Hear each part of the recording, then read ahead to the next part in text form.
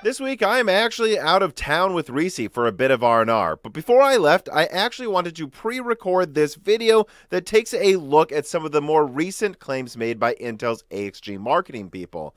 Uh, this video was actually intended to come out last week, but new RDNA 3 information made me push it back, and I'm actually happy it did. Last week I was really getting tired of covering this mess. Having said that, I am covering it again because there's just new stuff. Don't worry, I'm not going to be beating any dead horses in this video. I'm simply going to be beating the latest stallions of stupidity that Intel keeps letting out of their stable because they're new, they're different, and I think they give us more context as to what's actually going on behind the scenes at AXG. Now, my research for this video got spurred along when I saw an article from VideoCardz that cheekily referenced my ARC story information in regards to if that's what possibly Intel was showing off last week, which, no, the roadmap I have for the ARC story shows that happening in September, not August. Which, now that I think about it, that Intel story might actually come out right around when AMD is planning to launch Zen 4 Raphael, which I recently confirmed is September 27th, as some other people have said, and I actually I believe I'm the first to confirm B650 launches October 10th, possibly exactly one week before Raptor Lake launches. But we're getting off subject. No, what was shown off was not an ARC story last week. What was shown off was a pretty boilerplate teaser at the performance of an upcoming graphics product. In this case, Intel's A750, through a series of benchmark numbers, was claiming it would be an RTX 3060 competitor. And well, to be honest, we're just going to have to wait for reviews to be sure if those numbers aren't misleading. And I actually, later in this video, have some quotes from a few of my sources that suggest they might be. But the majority of what I actually want to talk about today is even if we were to use Intel's own numbers about A750 performance, they contradict some recent statements by Ryan Shrout and Tom Petersen in recent interviews. And actually, in some recent interviews from just a month ago, we can already see some claims that I think have been flying under the radar that completely do not make sense. And, and really, that's what I want to talk about today. A little bit of an update on what my sources are telling me about Alchemist's launch, um, and just deconstructing some of Intel's own statements and numbers to show why I don't think what they're saying publicly is really what's going on behind the scenes from a company that to this day cannot tell ARC sweepstakes winners when they will be getting a graphics card offering them an i7 instead with still no estimate to launch. I think I know what's going on, but first, an ad from a sponsor. Do you know everything? Well, congratulations if you do, because I don't, and neither does my dog, Reese, here. Honestly, I don't think she really knows anything. She doesn't even seem to get why I put sunglasses on her at the veterinarian's office the other day. It's because she's cute uh, we could probably both use a little bit of knowledge from Brilliant. Today's video is brought to you by Brilliant. Brilliant is an interactive learning platform built to make you see math and science in a new way that's fun. Brilliant uses hands on courses that have been tailored to keep you engaged so you can learn STEM courses in an effective way. Whether you want to do things like brush up on everyday mathematics you're getting a little rusty in, or learn the fundamentals of computer science for the first time, Brilliant can keep you sharp or help you develop new skills for your career. And best of all, Brilliant is free to start and it's waiting for you. Join over 11 million people already learning on Brilliant with a special offer just for Moore's Law is Dead listeners. Head to brilliant.org slash Moore's Law is Dead to get started for free with Brilliant's interactive lessons. The first 200 listeners will also get a 20% off an annual membership. Clicking on this link really helps the channel. It also helps you by costing nothing. Get started for free at Brilliant today. Okay, then, before I get into the public contradictions, I actually want to give you guys a bit of an update on what I'm hearing behind the scenes about Alchemist. These quotes were rounded up over the course of late last week and early this week, and they suggest that Intel still doesn't really know what's going on. One source tells me that months ago he was promised professional ARC cards to start testing, and to this day he still doesn't really have any estimate for when he's going to get them, and he basically doesn't expect to get them for months. Another source tells me that right now with an A770 card he has his hands on, it is performing around a 3060 Ti in tier 1 titles while oscillating between 220 and 250 watts of thermal board power. However, it seems to be closer to a 3060 in most titles, and he's really suspicious if this is how an A770 is performing in his hands right now how the A750 will actually end up as a 3060 competitor if you were to do, I don't know, like over 50 benchmarks like someone like Steve at Hardware Unboxed will do. And then a third source recently told me that the A750 and A770 samples are supposed to start arriving to reviewers by the end of this month, and that's still what he's hearing. Maybe they will. We're just going to have to see. So, were I not to have access to tons of statements made publicly by Intel's AXG marketing team and their own numbers, well, from my own sources, I would just tell you that right now, it still kind of seems like nobody knows what's going on. The performance is all over the place, and nobody actually knows when it will be ready or if it will be ready anywhere near the performance Intel was hoping to hit about a year ago. But I think if we look into Intel's own numbers, we can see the chaos in plain sight. Case in point, let's take a look at the A750 benchmark overview Intel put out there, basically claiming that the A750 was a 3060 competitor. All right, so let's see. Let's scroll down here, and yep, this looks like a pretty standard summary of benchmark numbers with Intel winning a bunch of them and NVIDIA winning some to try to make it look like this is a fair set of benchmarks. So wait for reviews to see if that's true. But one person on VideoCardz noticed something very astutely, and it's that it seemed like Intel's DirectX 12 claims that DirectX 12 is what Alchemist was built for doesn't seem to hold any water. Indeed, if we look at the worst performers on Intel's own numbers, they are Dolmen, a DX12 game that launched May of this year, F1 2022, a DX12 game that launched July of this year and is actually the second game in a row from this team that only runs on DX12, and then Assassin's Creed Valhalla, a game that's indeed from November of 2020, but again, exclusively built for DX12. There's no claim you can make here that these games are actually DX11 games. These are DX12 first games, and one of them is actually the second generation of only being able to run on DX12. Now, Let's take a look at some of the best performers. Resident Evil 8, a DX12 game. Okay, so one of their best performers is actually a DX12 game as well. Tiny Tina.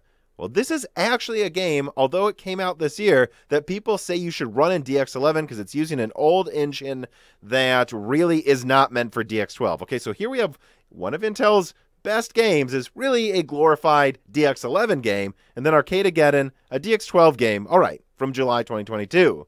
You guys see my point? If I take the three best and the three worst titles from Intel's own numbers, three of them are DX12 only, two of them some of the most recent games, and then they are best performers, one of them really isn't a DirectX 12 game in reality. So that's not to say that I found proof that Alchemist performs horribly in DirectX 12 or performs better in DirectX 11. I'm just saying, if you look at the best and worst performers, there's no evidence that they're any better at programming DX12 games than they are at programming DX11 games. In fact, if we look at these numbers, there's some other oddities like the fact that why does F1 2022 seem to perform worse relatively than 2021? It's a more recent title. I thought Intel's architecture is built for more recent games.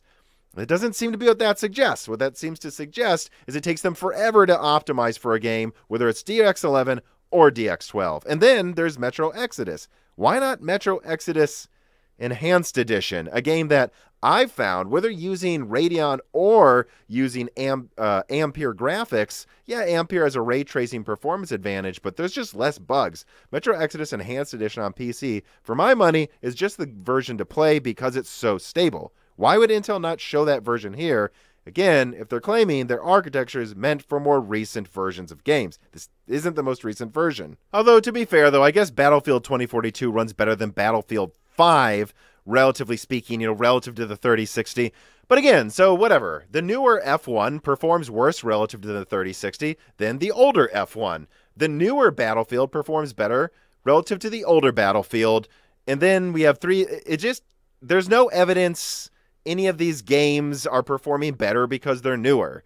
Intel just seems to have optimization and performance, one or the other or both, that is all over the place. And although it is now public that ARC will be emulating DX9 from now on. So at the very least, we could maybe take them at their word to a degree that like these horrible Counter-Strike Global offensive numbers we're seeing could be a result of DX9 and not perhaps more evidence that Intel's hardware scheduler is just CPU bottlenecked around 100 hertz, which I still think it might be. I, I think that we can say that there's a lot of evidence Tom Petersen and Ryan Shrout made up the DX12 defense. It's not to say that they won't have DX12 performance over time, perform better than 11 just because there's more DX12 titles now, and that's what they're focusing on. But at least what I think we know is that Intel's driver team is just not very good at optimizing for DX12 or DX11. And so I kind of think they just made up that defense. And speaking of making up defenses on the spot, we need to talk about Tom and Ryan's appearance on the Full Nerd a month ago. I want to start by playing this clip here. And yeah. so we need to have a press strategy. We need to do samples worldwide. We need to do engagement and then work through all the issues because you know when you launch a new GPU, there's going to be stuff that goes on. In this case, I would say another big thing that we didn't do since we weren't engaged with these global press, like some guys in Germany, some guys here in the US, they didn't know about this whole rebar thing. Mm. Right. And so I've been out talking about people. We have a unique graphics memory controller that has some unusual like behaviors. It's designed for working with more modern platforms. And there's a feature in almost every BIOS that's called resizable bar. It's, it, you know, I think, what did AMD call it? Like smart, smart memory smart access. memory access. Yeah. And NVIDIA, I think they call it just smart resizable bar. Memory. Yeah, but you got to turn it on for ARC because our, our memory controller is designed to work with that active. How many of you immediately see the problem with this claim here? Intel is claiming they built a memory controller from the ground up to use smart access memory from AMD. I have the full specs of the top Alchemist die two years ago, one year before AMD even unveiled smart access memory. This, to me, screams a defense that was made up on the spot.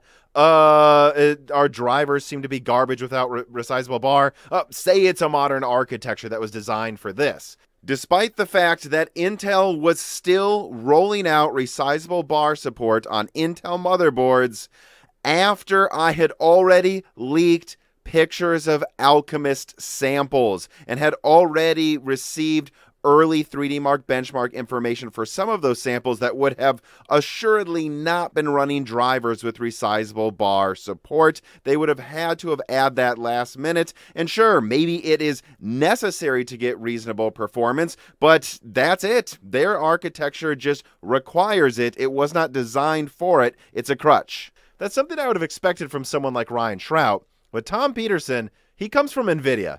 He knows better than this. He knows this is bullshit. He knows you don't design an entire memory controller in one year. That doesn't make any sense whatsoever. And anyone who would say that, you know, they'd believe them over me, it's like, well, then what you're basically suggesting is I just guessed top Alchemist specs a year before Smart Access memory. That's just a coincidence? It's not. The overall design for these types of graphics cards is locked in two to three years before they come out overall. I mean, heck, Alchemist doesn't even natively support HDMI 2.1. This is not some cutting edge architecture. This is a 2020 architecture that's two years late. And what I think we're seeing is just it uses smart access memory or resizable bar like a crutch. And then they just said, oh, it's a modern architecture. And just like their DX12 defense, this was something they made up on the spot. And it really insults me that this keeps happening. If you don't know what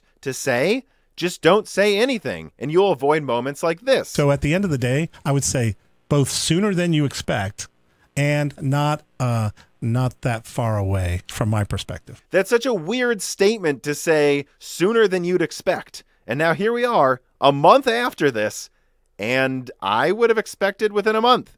I mean, if Nvidia went around holding an RTX 4090 and said it's launching soon, and then a month later, we still didn't have a release date, would that feel like it's coming soon relative to that statement? The reason Tom says these things, it was built for resizable bar, even though we know it couldn't have been, or DX12 optimization, even though there's no evidence DX12 optimization. It's because he's making it up as he goes, and I think Intel take this marketing team and shut them up until you actually know what's going on because they're saying things, well, they're saying a quote that I want to close on today. Independent of that, we're also making driver changes to catch yes. up to performance on DX11 and DX9. And that stuff is all going to happen on Alchemist before Battlemage right? So, so don't think of it as yep. You don't have to wait till Battlemage yeah. to get the improvements on Alchemist. Yes, you will see those iterations occur. Yeah. as our software and driver roadmap. Yeah, without committing to anything specific, we do realize that DX11, DX9 are very important to our customer base. We're going to be working on that urgently. I, I, okay. I, I, I really, you know what I've learned is that every time we say something, people remember what we say. Okay, just eh, you know, it's a classic. if aliens land tomorrow, like, ah, yes, well, we're yes. not going to deliver because yes. we're. Uh, although I would say mines. it would be kind of stupid if Ryan and I. I mean, we do stupid things all the time. Sure, but this would be exceptionally stupid for us to go around talking to key press and technical people if we're like in the distant future, right? That would be shockingly stupid. I agree. It would be shockingly stupid if you did that.